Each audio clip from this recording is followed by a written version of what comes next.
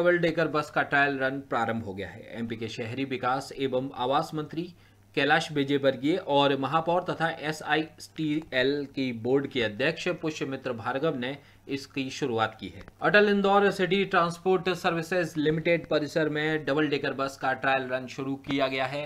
यह बस आगामी एक माह तक टेस्ट हेतु ट्रायल रन पर रहेगी। शहर के विभिन्न मार्गों पर संचालित की जाएगी। यह बस मुंबई से स्विच मोबिलिटी के माध्यम से इंदौर पहुँची। इस बस में तिरसठ यात्री सफ़र कर सकते हैं। इसमें नीचे उनतीस सीटें और ऊपर 36 सीटें दी गई हैं।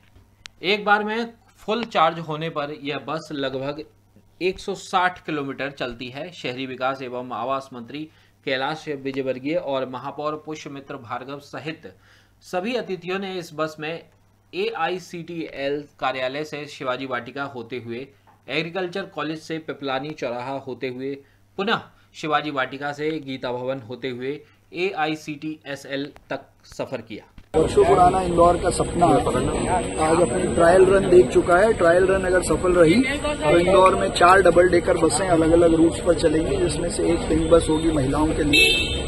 Double decker bus public transport को बढ़ावा देगी। डबल डेकर बस इंदौर के विकास को दूसरी मंजिल पर ले जाने का काम करेगी। इस अवसर पर हम प्रदेश के यशस्वी मुख्यमंत्री डॉक्टर मोहन यादव जी, नगरीय प्रशासन मंत्री कैलाश विजयवर्गीय जी, हमारे सभी विधायक एमआईसी के साथी, इन सबको मैं बधाई देता हूँ कि हम सबके प्रयासों से मध्य प्रदेश में पहली बार डबल डेकर बस सड़कों पर दौड़ी है और आने वाले समय में पक्के इरादे से हम इंदौर दर्शन की ट्रेवल बस को भी आगे बढ़ाएँगे।